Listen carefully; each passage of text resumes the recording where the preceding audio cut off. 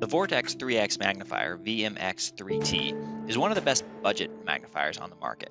It was my first magnifier, purchased back when I knew almost nothing about guns, and even less about how little I knew.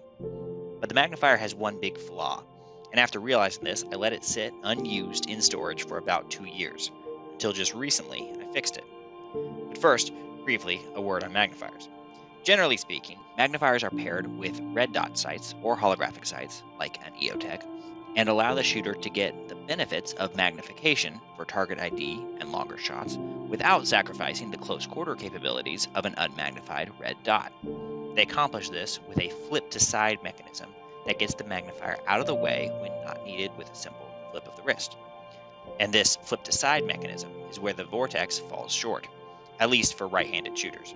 When it comes from the factory, the Vortex flip mount is actuated by pushing a button for right-handed shooters, that button is easily accessible to the thumb of your left hand, but only in the flipped to left configuration. If you want the magnifier to flip right, the button is far less accessible.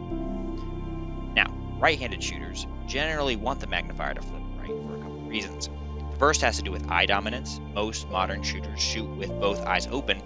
Right-handed folks tend to be right eye dominant, so if the magnifier flips left, it blocks a large part of the shooter's field of view, i.e., the situational awareness coming from the left eye.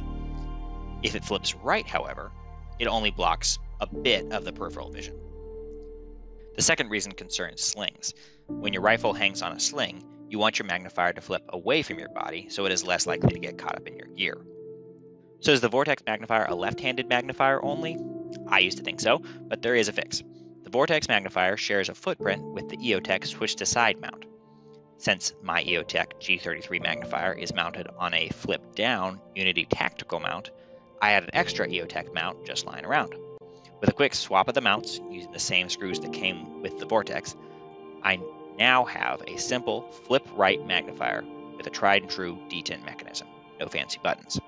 With the popularity of the Unity tactical design, Spare EOTech mounts are rather common, but unfortunately, people still charge a pretty penny for them. The cheapest one I can see on TacSwap right now is $70.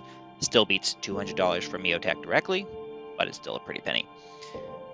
So, in the end, is it worth buying a Vortex 3T just to pay extra to fix the mount? Maybe, maybe not. I like the 3T better than competing budget magnifiers like the SIG or Holosun options that I've tried. And this combo is likely cheaper than Vortex's new micro magnifier. Still, there may be more cost effective options that I have not tried. If you already have a 3T and like it, I'd keep your eyes open for one of these mounts. So there you have it. That's how I fixed my problems with the Vortex 3T magnifier. Let me know if you have any questions in the comment section. Thanks for watching.